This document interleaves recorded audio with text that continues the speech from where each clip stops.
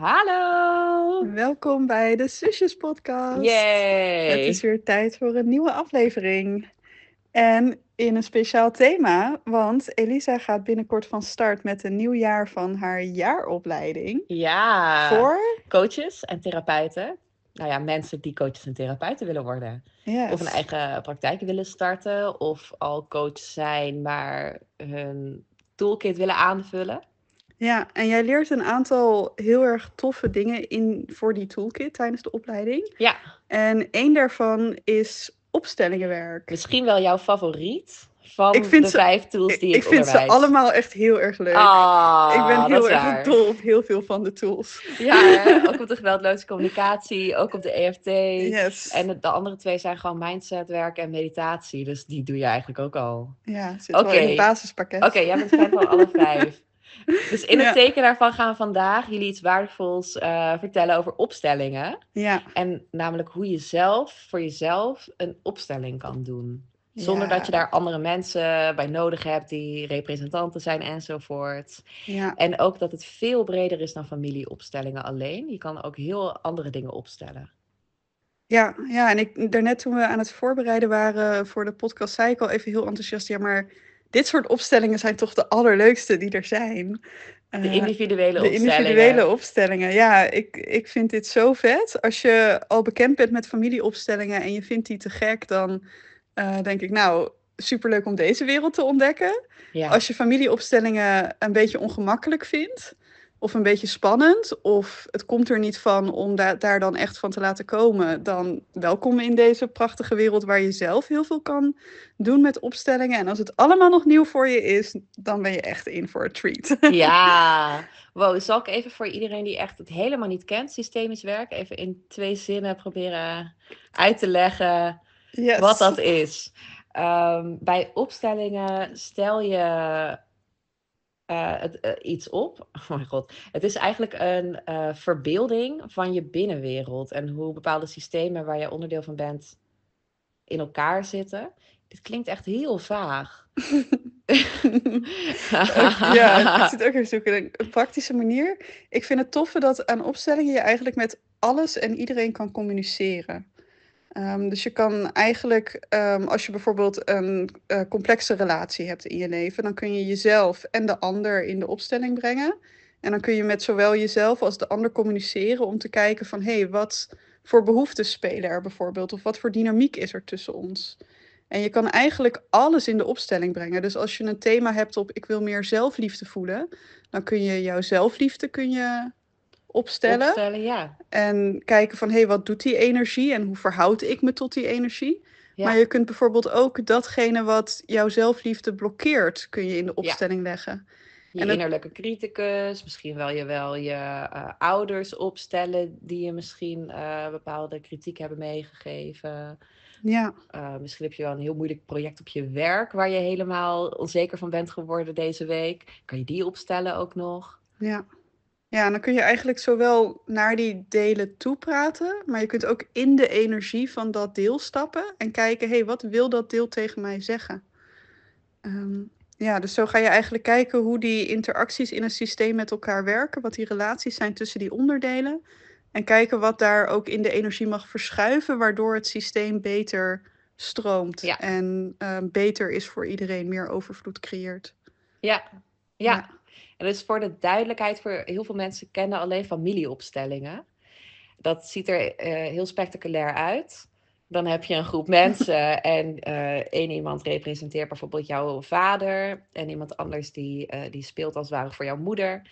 Iemand anders stapt in de rol van nou, je broer of je zus en dan gaat het allemaal zo bewegen, zie je dynamieken. En, maar dat, je kan dus precies hetzelfde doen met elementen, bijvoorbeeld interne delen, zoals die zelfliefde of zoals die innerlijke criticus. Je kan ook heel andere elementen nog inbrengen. Ehm, en dan kan je het ook zelf doen met voorwerpen.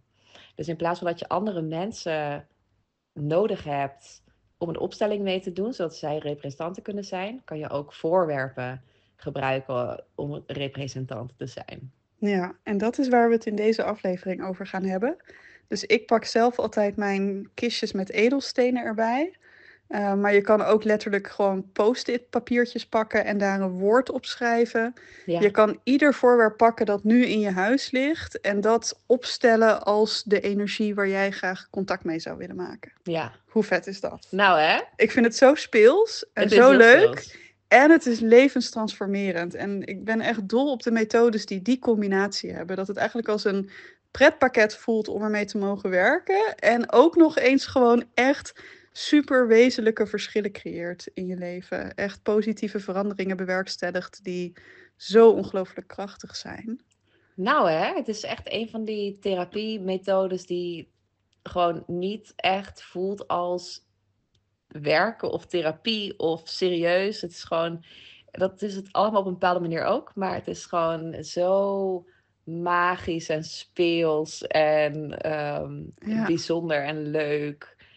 En mijn favoriet is toch wel om uh, voorwerpen te gebruiken die mooi zijn of ehm, eventueel schattig. dit, dit doet me er echt aan denken. Wij, Elisa en ik deden laatst een opstelling. En toen um, deed jij alleen maar voorwerpen die je mooi vond. Ja. En eh, dus eigenlijk gewoon van, oké, ik kies de voorwerpen uit die ik mooi vind. In plaats van, ik wil nu, weet je wel, mijn vader opstellen of wat dan ook. Maar je kiest gewoon de mooie voorwerpen. En dan, en dan bleek daaruit een hele wezenlijke opstelling te ontstaan. Als we dan gingen kijken, oké, waar staat dit voorwerp voor? Ehm, ja, daar kwam eigenlijk heel veel moois uit. En het zag er ook nog schitterend uit. Dus dat was dubbel genieten. Nou, het is eigenlijk niet de manier waarop ik werk met cliënten. Of hoe ik het dat, coaches dan, dan doen we de serieuze manier hoor. Luus en ik gaan gewoon het los met elkaar. Wij doen ook soms, dan doen we duo-opstellingen. Dan, dan gaan we tegelijkertijd een opstelling neerleggen, allebei voor onszelf. Maar die op de een of andere manier dan toch met, met elkaar overeenkomt. En in elkaar begint te schuiven. En er gebeuren altijd heel leuke, interessante dingen als wij met opstellingen spelen. Ja, daar gaan we je straks ook een paar voorbeelden van geven. Ehm, om het concreter te maken. En ik denk dat het goed is dat we even nu naar de basis gaan. Van hey, hoe kun je een individuele opstelling thuis zelf doen? Ja, ja. stap 1. Eh, verzamel een stuk of ik doe vaak ongeveer 20, vraag ik meestal aan mijn cliënten, verzamel een stuk of 20 voorwerpjes. Je gaat ze niet per se allemaal gebruiken straks, maar dan heb je wel iets om uit te kiezen.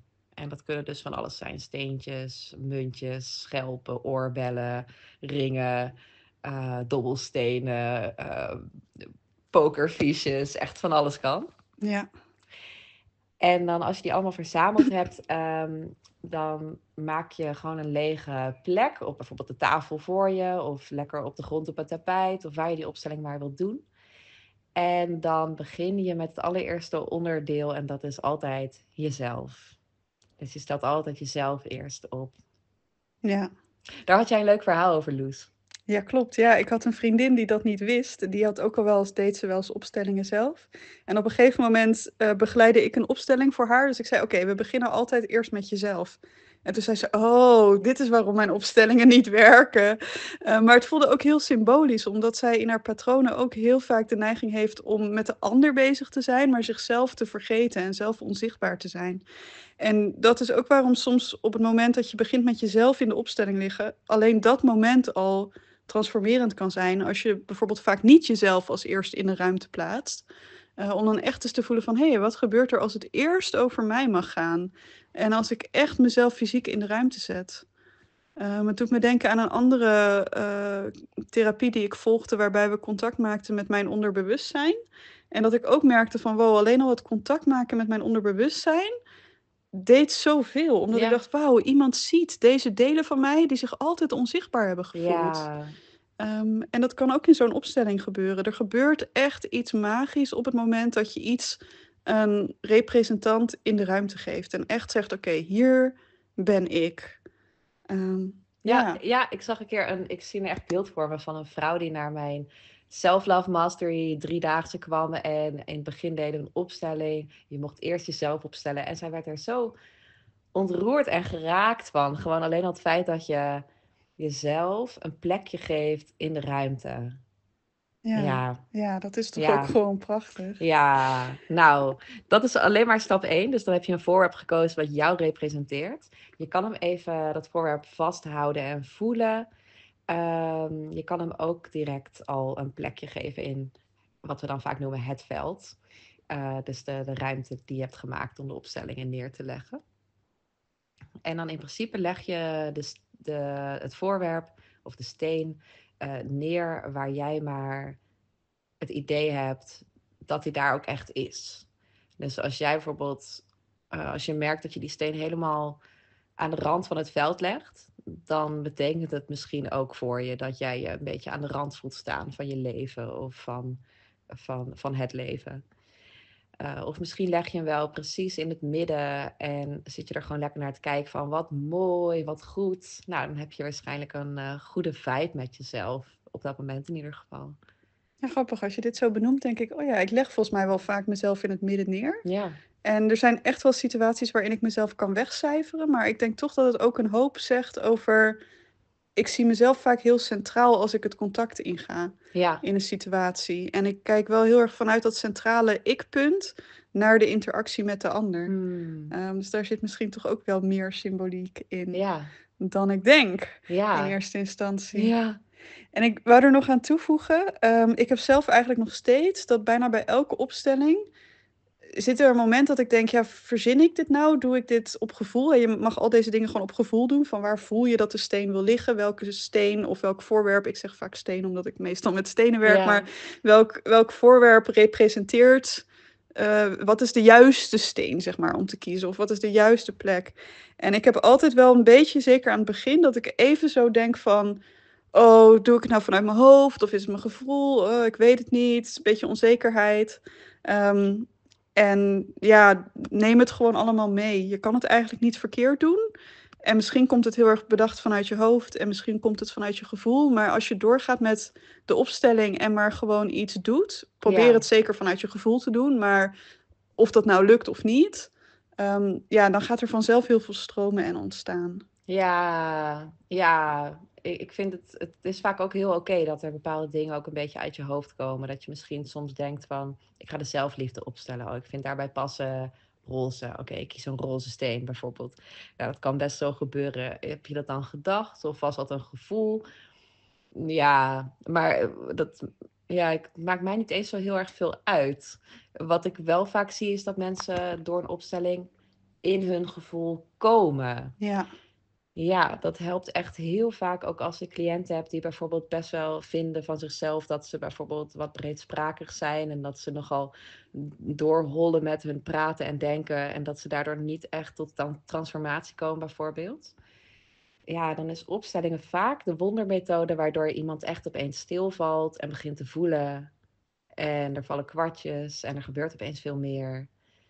Ja, dat is echt fantastisch. Soms kan je, soms kan je eigenlijk drie sessies met iemand niet echt vooruitkomen. En dan doe je een opstelling en dan opeens begint het zo te stromen. Ja, en dat is ook waarom we deze aflevering doen en waarom ik zo fan ben van deze methode. Ik vind het echt inderdaad iets waar je op plekken waar je heel lang een beetje met je hoofd aan kan blijven knutselen of telkens in hetzelfde ding vastloopt, Ja, kan een opstelling echt een shift in energie brengen die alles weer in nieuw perspectief zet en patronen doorbreekt. ja. Dat, eh, ja. Nou ja, Ja. dat eh, later in de voor- voorbeelden. Wat wil jij Ja. nog delen, Elisa, over het zelf opstellingen? Oh ja, leggen. nou, nou, we zijn pas een stukje gekomen. Dus als je dan jezelf hebt opgesteld en je kijkt daarnaar of je voelt van hoe vind je dat, hoe voelt dat, dan kunnen je voor allerlei dingen opvallen. En het kan echt, ehm, ik wil bijna geen voorbeelden geven, omdat je dan misschien je minder creatief openstelt. Maar ehm, ik noemde net al, misschien lig je aan de rand van het veld en voel je ook alsof je aan de rand ligt.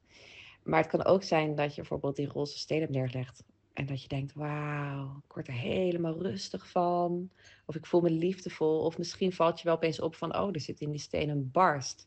En voor mij betekent dat iets. Dus er kan van alles gebeuren waar je op die manier een gevoel van krijgt of een inzicht uithaalt. Dus gewoon, eh, ja, durf een beetje te verstillen en te vertragen. En dan komt dat binnen. Nou, dan kan je daarna alle andere aspecten gaan opstellen van je, van je thema of vraagstuk. Dat heb ik even vergeten te vermelden, maar meestal hebben mensen een thema of een vraagstuk waar ze een opstelling Mhm. over doen. Ehm, hè, dus we hadden bijvoorbeeld zelfliefde, maar het kan ook zijn er is eh, drama in je relatie of er is ehm, je weet niet wat je wilt doen met je carrière. Of je voelt weinig zelfvertrouwen. Nee, je, kan echt, je kan het echt zo gek niet bedenken. Je kan er een opstelling over neerleggen. Ja. Dus dan begin je andere thema's, uh, ik bedoel andere aspecten uit dat thema, ga je dan ook opstellen één voor één. Het is eigenlijk hetzelfde proces. Je kiest een voorwerp dat het representeert. Uh, en je voelt van wat voel je bij dat voorwerp. Je geeft het een plekje in het veld. Je voelt hoe je dat vindt. En dan kan je ook op een gegeven moment gaan zien hoe verhouden die verschillende elementen zich tot elkaar. Bijvoorbeeld ligt je zelfliefde dichter bij jou dan je, uh, uh, dan je innerlijke criticus? Of is het juist andersom? Ja. Of hoe groot is dat voorwerp, die innerlijke criticus, ten opzichte van de zelfliefde? steen? Zijn die, zijn die van heel andere grootte bijvoorbeeld? Dus er kan van alles in gebeuren. Ja. Laat je verrassen. Ja, en daarna wordt het nog spannender, want dan kan je er ook mee gaan schuiven om te kijken van hé, hey, als bijvoorbeeld die innerlijke criticus dichter bij jezelf ligt dan de zelfliefde, wat gebeurt er als je die zelfliefde ook heel dicht bij jezelf legt?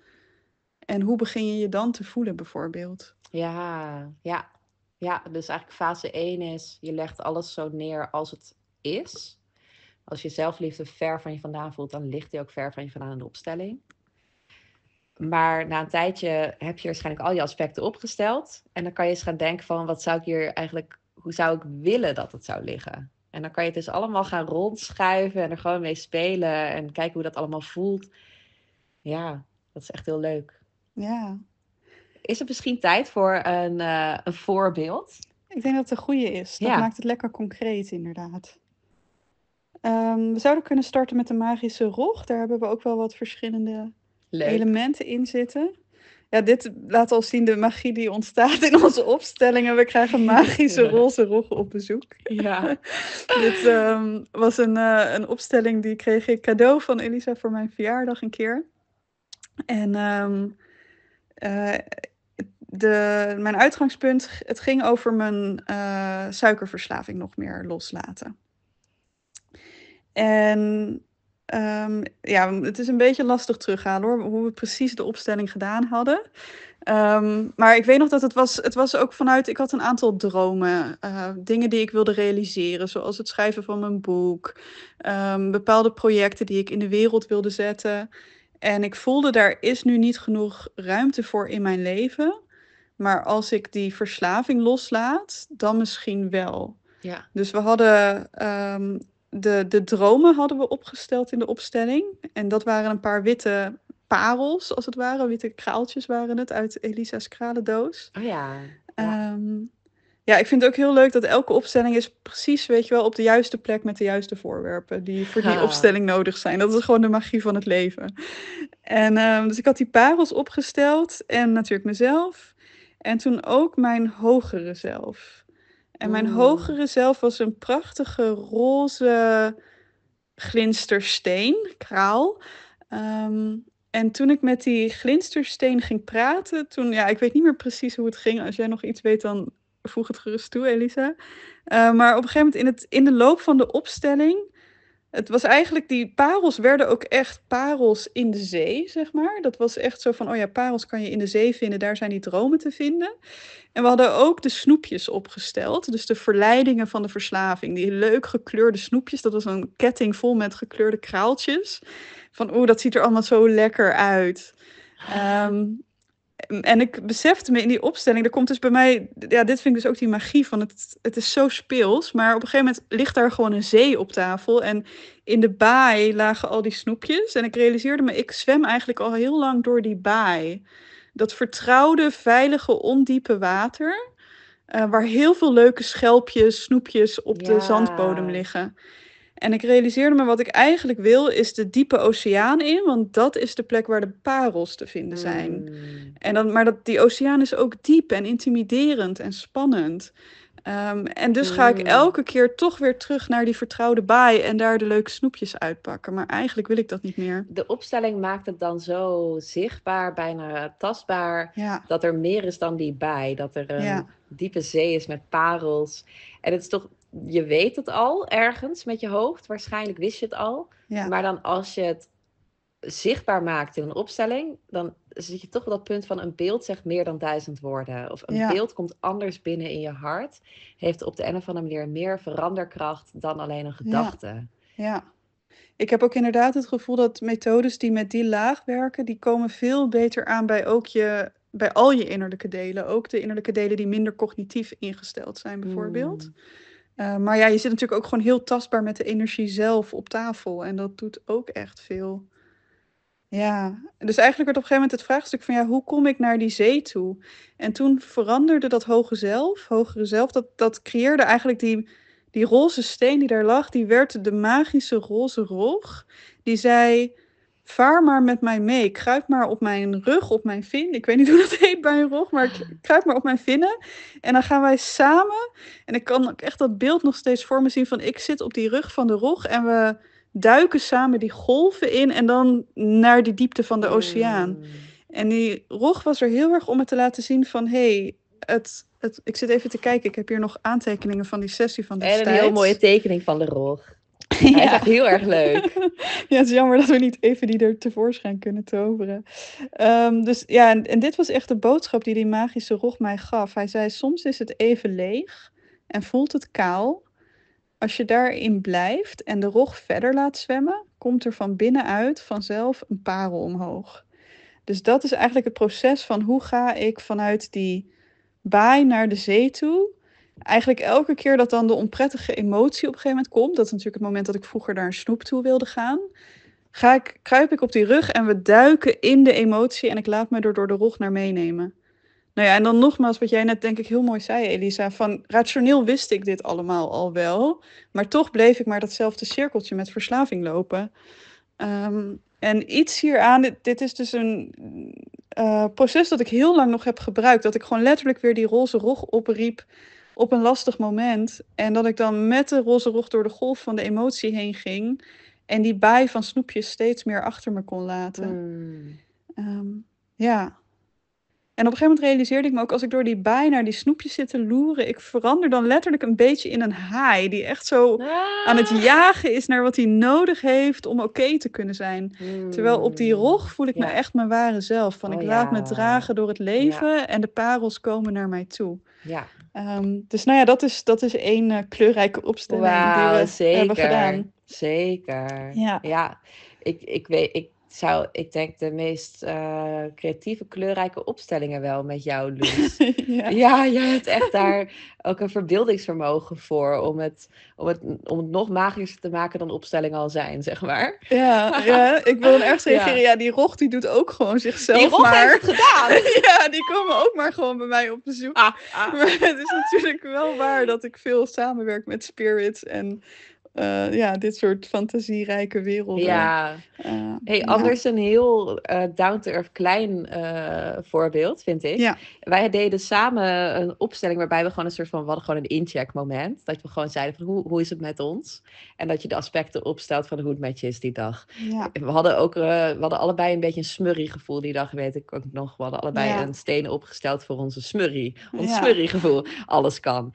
Um, maar daar hadden we dus ook, um, als tegenhanger van de smurrie, die je soms in je leven kan voelen. Ja, en dan nog één aspect daarbij. Die smurrie die ontplofte dus ook in de opstelling. In de zin van, en dan hadden we ook dat deel in ons dat de controle wil houden en dat perfectionistisch is. Ja. Van alles moet goed gaan. Ja. Maar soms gebeurt dan het leven. Dan gaat iets onverwachts, dan krijg je je werktaak niet af. Ja. Uh, dan vliegt je zelfzorg weer het raam uit. Oh, en dan hmm. merkten we dus dat als dat perfectionistische deel dat zag die had dan het gevoel van, oeh, nu is alles verpest. De smurrie ontploft. Het is allemaal te laat. Dat komt nooit meer eh, goed. Ja, dat komt nooit meer goed, inderdaad. Ja, en toen hebben we het tegenovergestelde deel uh, energie opgesteld. Ja, wat ook gewoon delen waren die we, die we ook gewoon hebben in onszelf. Dus dat was ja, ook heel logisch. Maar het is interessant hoe je in je leven soms best wel kan focussen op het negatieve. Echt die half, uh, glas half leeg mentaliteit. Maar dan als je eenmaal al die nare dingen hebt opgesteld, dan voel je eigenlijk heel veel ruimte om ook even de andere dingen op te stellen die je ook gewoon hebt en bent. En die er eigenlijk ook gewoon waren, maar waar je niet zo op focuste. Ja, precies. Ja. Dus zodoende legden we uh, allebei een steen neer. En op de manier is het een beetje dezelfde steen, maar hebben we allebei net andere interpretatie. Dus doe maar eerst die van jou. Ik denk dat ze hetzelfde zijn. Ik denk dat wij gewoon Ja? net andere woorden gebruiken. Maar Oh, oké. ja, die, die steen is er eigenlijk voor dat als al die smurrie ontstaat en het perfectionistische deel zegt: dit komt nooit meer goed, dan zegt die steen: ik kan het eerstvolgende stapje zetten. Ja. Ik kan het opruimen. Ik noem hem dus vaak de opruimsteen. Ik kan gewoon de smurrie weer opruimen en doorgaan. En jij noemt hem de De doorgaansteen. doorgaansteen. Dat Ja. hoe messy je leven ook is. En of, of, of ook al heb je even ehm, op de bank gelegen en echt zo van, "Eh, ik weet het niet meer. Dat je dan, toch is er altijd een deel mij dat gewoon weer opstaat. En toch weer iets doet wat vanaf dat moment, ja, toch wel weer een goede stap vooruit is. Ja. De doorgaansteen. Ja, en wat ik zo Ja. tof vond aan deze is, ik heb die steen, die, we, die mijn opruimsteen die we toen hadden, die heb ik een hele tijd op mijn kantoor, op mijn bureau gelegd. En dat ik gewoon echt merkte op die momenten dat het de smurrie ontplofte. En mijn perfectionistische deel zei van, oh, deze dag is al helemaal mislukt. Ik kan net zo goed nu op de bank gaan liggen Netflixen en alles opgeven, want het komt toch nooit meer goed. Mm. Dan, dan zei ik tegen mezelf, Loes, je hebt een opruimsteen. En Oh. dan pakte ik die steen en dan vertelde die steen me: Oké, het eerstvolgende stapje dat ik nu kan zetten is puntje, puntje, puntje. Ja. En dan ging ik toch nog dat volgende stapje zetten. en het Oh, volgende ja. en het volgende. En nou, ik kan me letterlijk voorstellen dat jullie hier op mijn YouTube-kanaal bijvoorbeeld, dat jullie aan deze opruimsteen te danken hebben dat er twee YouTube-meditaties zijn ontstaan op zo'n dag waar mijn andere delen al op de bank waren beland. Maar de Ah, opruimsteen zei van, hé, hey, ik kan het eerstvolgende stapje zetten. En vervolgens komt er nog veel meer tevoorschijn dan ik voor mogelijk houd. En is er bijvoorbeeld een nieuwe meditatie op YouTube. Dat is hoe wezenlijk het is, die Oh, processen. Het is echt gaaf. dingen veranderen in je gedrag, in je leven, door dit werk te doen. Het is zo Mm. tof. Ik denk dat mijn doorgaansteen mij meer innerlijke rust geeft op momenten dat het even niet zo lekker gaat. Dan, ehm, ik weet niet eens of ik sneller in actie kom dan ik normaal al kwam, maar gewoon wat minder dat mijn hoofd er een drama van maakt en denkt van, oh, dit komt nooit meer goed, maar dat mijn hoofd wat sneller denkt, oh, die doorgaansteen, weet je, dat gaan vanzelf wel weer verder. Ja, Ja, mooi. dat gewoon de dalen wat minder diep voelen.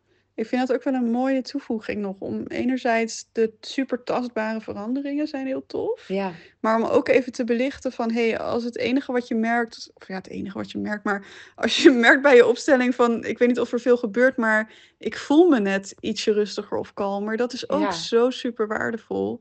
En eh, ik kies natuurlijk ook makkelijk de meest spectaculaire voorbeelden eruit.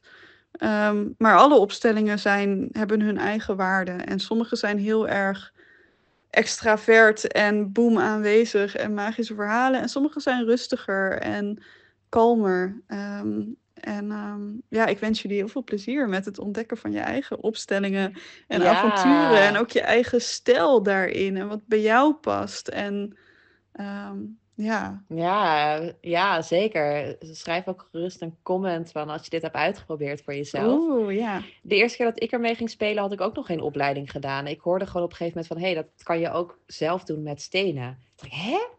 En toen ging ik het gewoon uitproberen. En het was gewoon eigenlijk vanaf moment één een succes voor mij. Terwijl ik pas later zelf training erin heb gevolgd. Van hoe, hoe, hoe, moet, hoe moet het? Ja. Weet je, de zaakjes, hoe moet het? Ja, Maar het is, het is gewoon, het zijn principes. Stel interne delen op als een voorwerp. En eh, kijk wat je erbij voelt. Kijk wat voor inzicht het je geeft. ja, Dus dat is gewoon de, binnen die, eh, binnen, daarbinnen kan je spelen en dingen ontdekken. Ja, tof. Ja, het is heel gaaf. En als je nou Ja. denkt, ik vind het wel fijn om daar wat begeleiding in te hebben. Ik kan Elisa ook echt van harte aanbevelen als opstellingbegeleider. Ik voel me gezegend dat ik een eh, zo'n fantastische zus en opsteller heb bij wie ik heel vaak terecht mag. En eh, we hebben zelfs op een gegeven moment een soort van magische leus ontwikkeld. Dat, het was een paar keer gebeurd dat ik voordat er een e-festival van mij plaatsvond, dat ik met Elisa ging zitten en dat we een opstelling deden voor het e-festival. En dan keer op keer werden dat echt super succesvolle edities, die heel veel waarde creëerden voor heel veel mensen.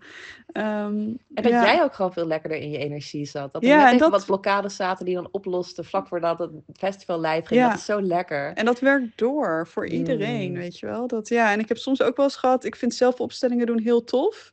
Soms vind ik het iets lastiger in mijn eentje, omdat er geen getuige, eh, geen externe getuige is, anders dan dat ik het leven zelf uitnodig. Maar ik merk toch, als ik het dan met Elisa erbij doe, dan doet die getuigenis iets. En soms weet zij net even het juiste stapje aan te reiken van, hey, probeer dit eens, of wat als we het zo doen.